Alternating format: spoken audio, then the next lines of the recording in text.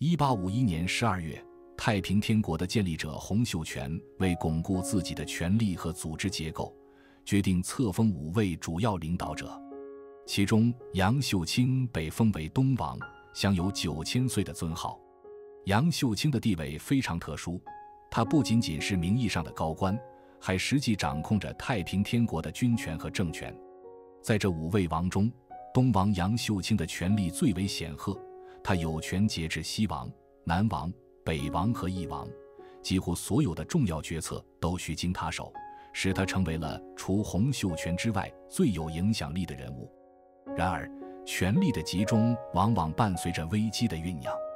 到了1856年8月，杨秀清表演了一场天父下凡。要知道，洪秀全以天父的儿子自称，杨秀清却自比天父，直接逼得洪秀全将他册封为万岁。这一事件显然超出了常规的政治操作，引起了内部的极大不满和猜疑，最终导致了1856年的天津事变。杨秀清也被部下杀死了。长久以来，杨秀清被历史记载为谋反的罪人。但直到有一封洪秀全写的《赐英国全权特使额尔金诏》，这封信在英国的现身，才向世人展示了一个截然不同的故事。甚至有学者看到这封信之后，感叹：原来这事是一桩冤案。这究竟是怎么回事呢？下面让我们一起来看看吧。洪秀全。这位后来的天王，原是广东花县的一个农家小子。说到他，不得不提他的科举路。那时候想要身份地位翻个身，科举是最直接的路子。可惜运气似乎从来没站在洪秀全这边，科举考了一次又一次，每次都以失败告终。对一个满腔热血、梦想成为捍卫国家的状元的年轻人来说，这打击可不小。失败。失望、怀疑，这些滋味全尝遍了。但就在这个时候，一本基督教的经典《圣经》走进了他的生活。他开始读《圣经》，接触大量的基督教思想。那时候，洪秀全的心境应该是极其复杂的。最神奇的是，就在这段黑暗低谷的时期，洪秀全做了个梦，不是那种普通的醒来就忘的梦。而是一个改变他一生的梦，在梦里，他被告知是天选之子，要他起来建立一个属于自己的王朝。这不就像是突然有人把手里的命运之剑递给他，告诉他你是救世主？从那之后，洪秀全就变了，他开始传教，四处宣讲自己的理想和信仰。他的自信和魅力吸引了一大批人跟随他。一八五零年。这位曾经的农家子弟，终于在金田举起了反旗，建立了太平天国，并自封天王。不过，这太平天国虽然建立了，但是内部的问题也是一个接一个。洪秀全在取得胜利之后，似乎忘记了初心，开始沉迷于女色和享乐。而作为太平军真正的军政领袖，东王杨秀清则越来越不满洪秀全。东王杨秀清。本是个有野心、有能力的人物，他曾是洪秀全最得力的助手。然而好景不长，东王府最终还是陷入了政治斗争的漩涡。不仅仅是内部的权力斗争，还有对教权的争夺。教权这东西，在太平天国里可是比军政权都要重要。洪秀全本人，还有他的义妹洪玄娇，在女教徒中威望极高。这让杨秀清想要掌握更多权力变得非常困难。俗话说“树大招风”，杨秀清就是这么一个人物。从一介书生到夺得太平天国的实权，他的故事就像一部古装电视剧，令人叹为观止。说到杨秀清的崛起，那可是一波三折。起初，他只是洪秀全创立的拜上帝教中的一名成员，但凭借其非凡的才智和军事才能。杨秀清很快就在组织中崭露头角，担任起了重要职责。进驻南京之后，洪秀全似乎对政务没有太多兴趣，更多时间是在享受权力带来的乐趣。而杨秀清作为东王，他的作为却是越来越有野心。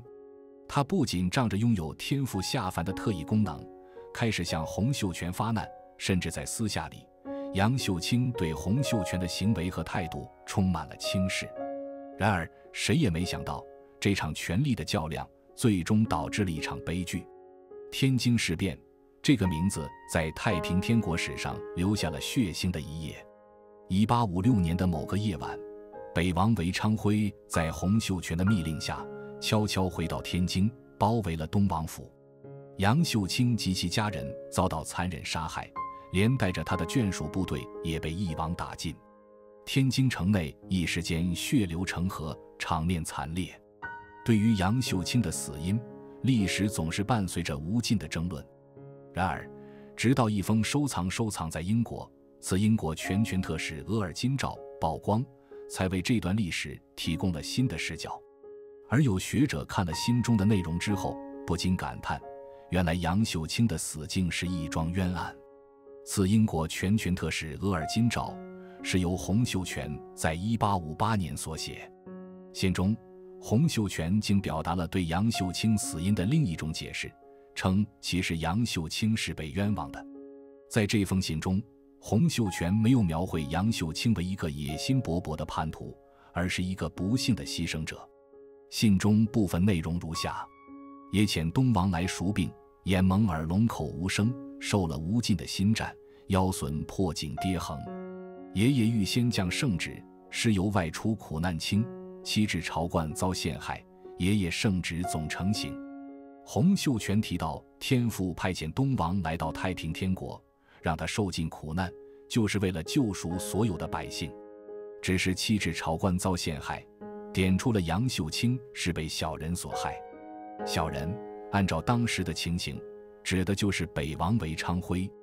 当时，北王韦昌辉在杀害杨秀清之后，不顾洪秀全、石达开的制止，停止其行动，而是将清算扩大到了杨秀清的部下以及与之有关的所有人，甚至包括与东王密切的义王石达开的全家。这一系列的屠杀行动在短时间内造成了大量无辜者的死亡，据报道，死者达到了数万人。韦昌辉的这种残忍行径，不仅违背了太平天国宣扬的积着教义和道德原则，也极大地伤害了人民的感情和信任。这种无差别的屠杀使他迅速失去了民心，许多原本支持或中立的天国成员和普通百姓都开始对他的残暴行为感到恐惧和厌恶。随着事态的恶化，洪秀全作为太平天国的最高领袖，感到了对韦昌辉行为的严重后果。决定必须采取果断措施，以防进一步的内乱。于是，洪秀全发布了诸韦诏书，公开宣布对韦昌辉的不满和决定，指责其背叛了天国的理念和目标，将其贬为北监，并下令全国追捕。韦昌辉在感到形势对自己极为不利后，试图潜逃以躲避追捕。然而，由于他的暴行已经激起了广泛的公愤。他在逃亡过程中很快就被天津的军民发现并逮捕，洪秀全命令将他带回天津公开审判后，韦昌辉被处以极刑，肢解处死。这是一种极为严厉的古代惩罚，用以示警于众。后来，洪秀全还为杨秀清进行了平反。为了平反，洪秀全将自己的儿子洪天佑过继给东王，立下东王升天节。成为天国的重大节日之一，而那封写给英国特使的信件的发现，无疑是对当时权力斗争残酷性的一次反思，让人不禁想问：杨秀清真的是因为谋反而被剿除的叛徒吗？还是他只是权力斗争中的一个棋子，最终由于各种复杂的原因成为了牺牲品？实际上。洪秀全为杨秀清平反的可能动机，绝非泛泛而谈。毕竟，这个一度高高在上的天王，何必在杨秀清一事上费尽心思呢？洪秀全的内疚是一个不能忽视的原因。昔日的亲信战友无端被诛，这块心病可能一直萦绕在洪秀全心头。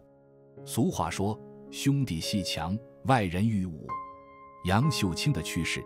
不仅动摇了太平天国的根基，也让洪秀全对自己的选择深感疑虑。再来看看杨秀清在太平天国中的真实地位与贡献，那可谓是非比寻常。哪怕是抛开他的叛徒之名，单看他对太平天国的勋绩与推动，也不应被轻视。杨秀清麾下军队北征南战，为太平天国的扩展立下汗马功劳，更别说他在政治、军事上的聪明才智，确实为太平天国贡献良多。这样一个人物，若非有过非凡的贡献与能力，又怎会让洪秀全在他死后感到如此内疚呢？然而，历史的真相往往隐藏在一片片零散的记录中。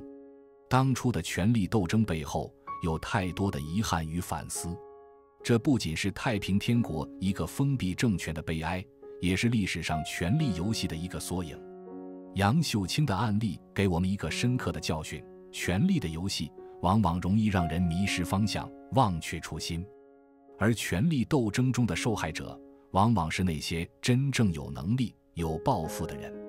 正是在这样的背景下，洪秀全对杨秀清的平反，或许也是一种对自己过往判断的否定，一种对太平天国未来的深思。